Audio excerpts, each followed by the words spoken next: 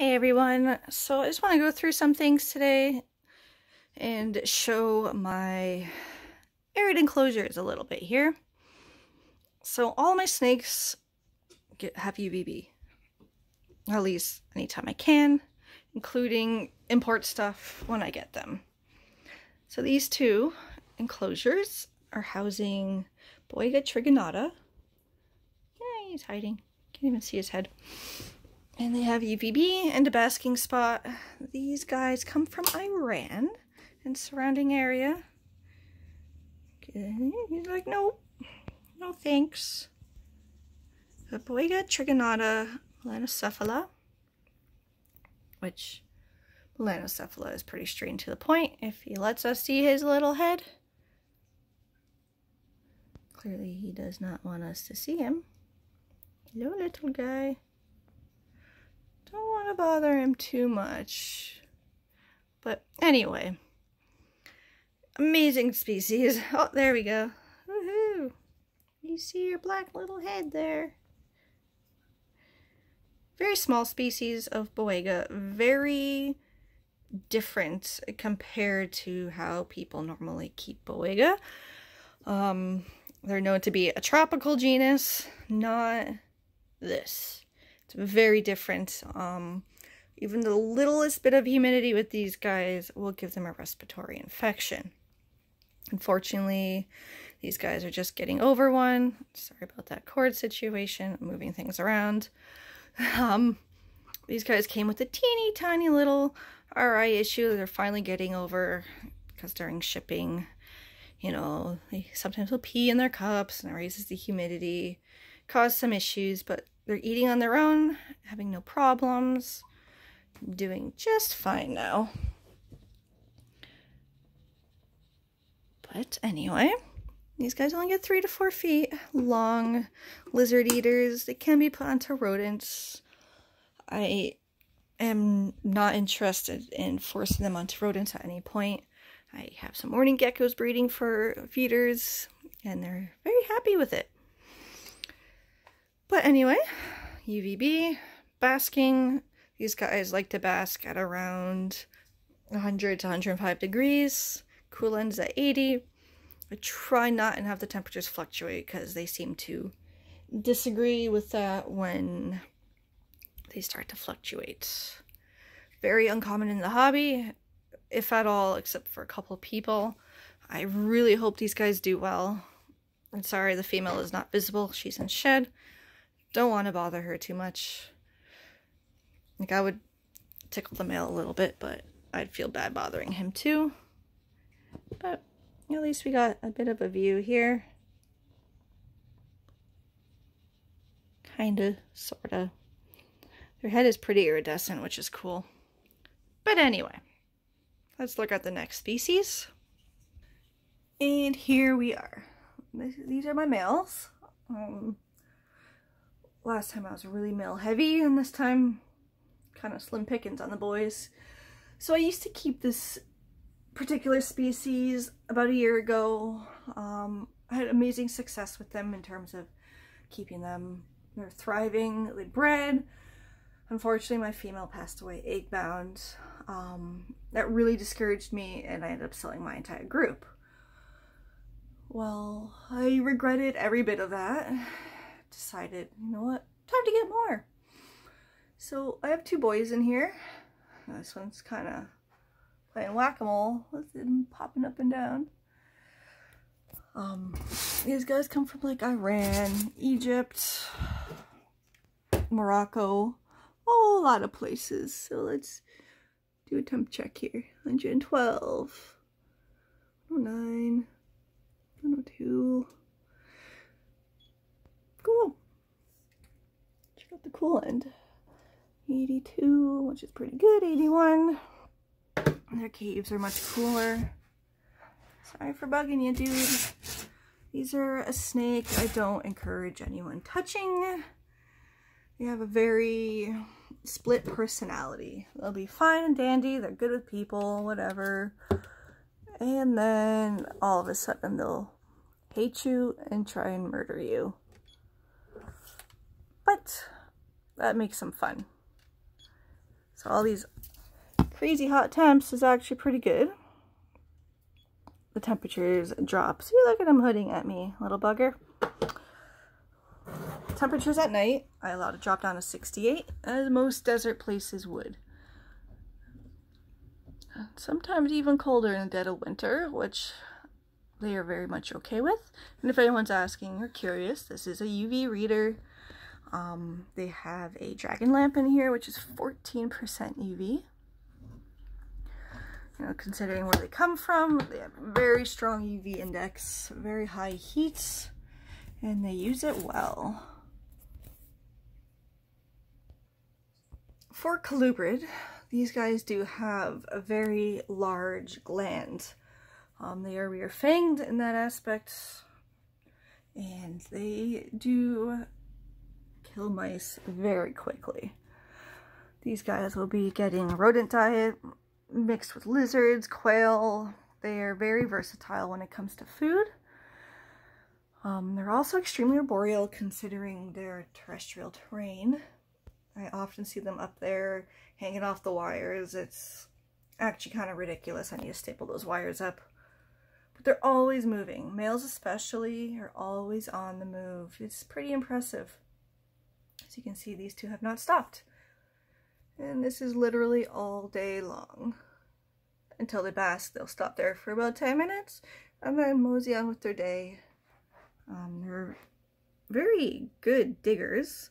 They'll use their neck actually as a shovel and start digging away. It's pretty cool to see. These guys are pretty new, so they are stressed out a little bit. Let's see. Watch this guy come.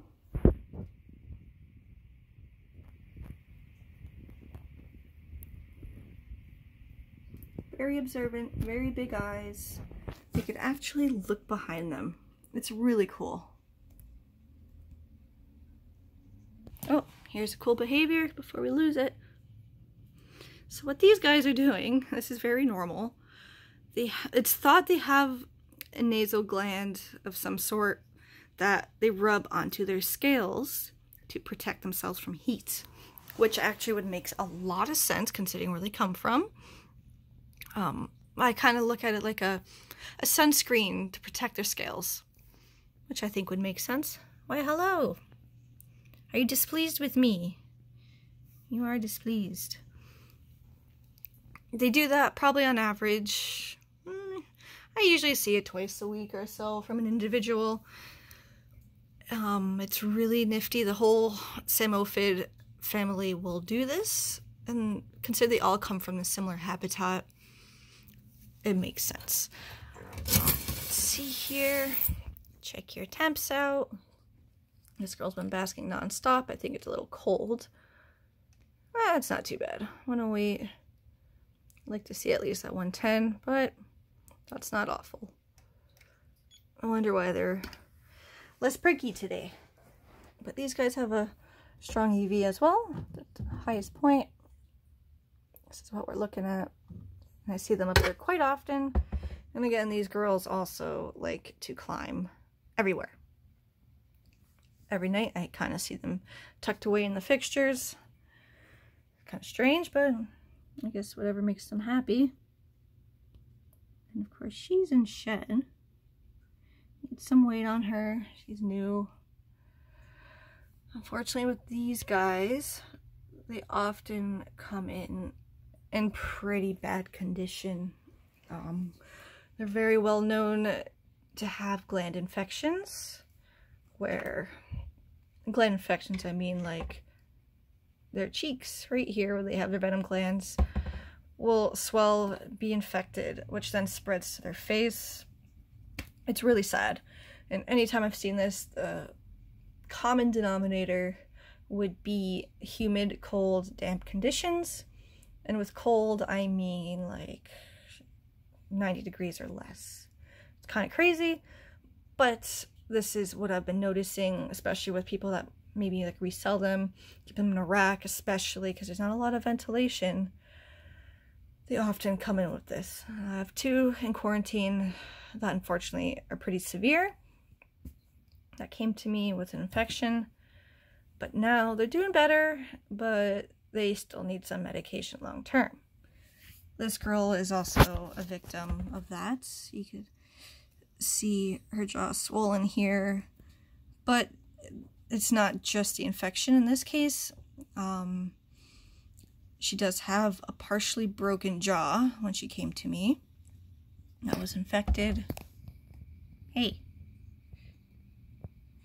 But it's healed. Um, it's just a little swollen still. She is on meds, but there is no serious infection with her. And ever since she's been put with the heat in this enclosure, it actually has been doing a lot better. It's just one of those things where if I kept her in a rack system or in quarantine of that kind of sorts, like sterile, she would actually do a lot worse. Not many snakes like that, but these are one of those ones where more barren or sterile keep them, the worse off they'll actually be. And this is going back with my previous experience where I've dealt with many of these issues before every time I got them in. Honestly, one out of every four often are sick, have an infection of some kind over simple, easy mistakes. And ultimately, they're so easy to keep. They just need good husbandry. And they're hardy. Like, they're bomb-proof snakes after that. Considering they could eat anything. They do so well. They're very bold, brave snakes. Like, you, you can't go wrong with them. It's the only thing is, don't touch them. They'll be happy. Your hands will be happy. And they will thrive. That's the most half-hearted hood I've ever seen. It's a shame they don't hood up very much. But they're calm, they're relaxed, which is good. This girl has been on here nonstop. That's so crazy. But they like it hot. Can't complain.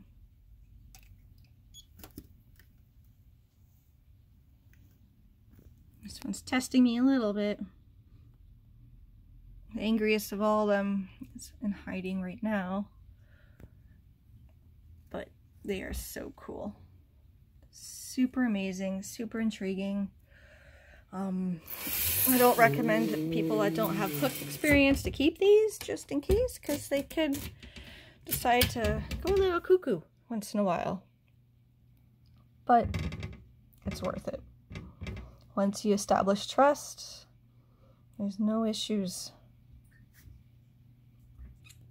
But anyway, that's it for my arid stuff. I don't keep a whole lot because I don't want this room to be a hot, humid room.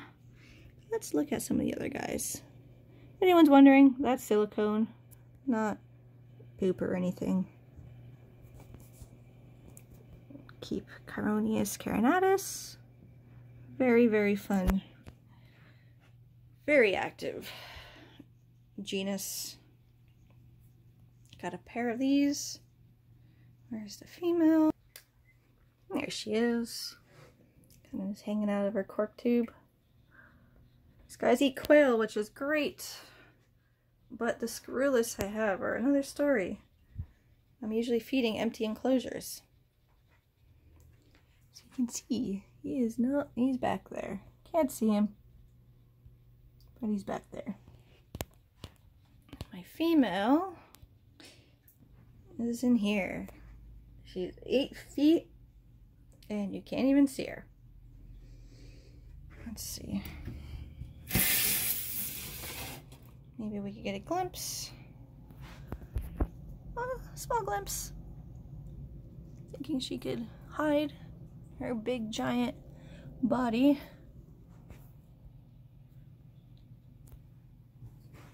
These guys are very shy compared to the Carinatus.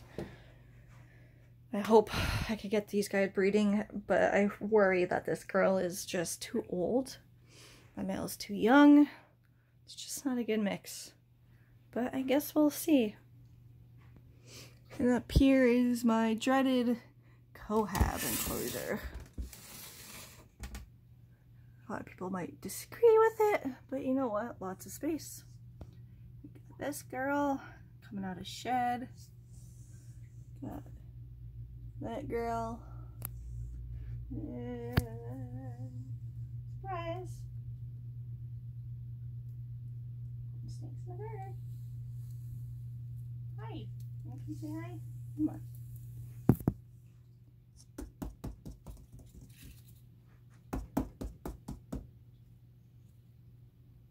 You guys are weird.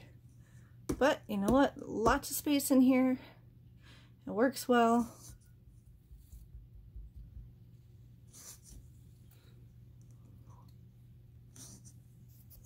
And she will come up and say hi. Or not. She totally didn't this time. Usually she does. But these guys are cool. By far one of my favorites in this collection. Very personable, very friendly. Can't go wrong.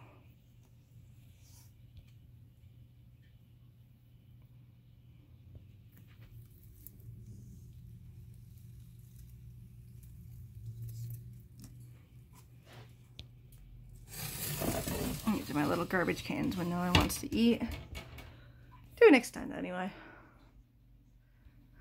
You get some more climbing space in there for them, but not too bad. Anyway, this is my pointless rant video. If you want to call it a rant, and I'll be amazed if you all watch this for freaking 17 minutes.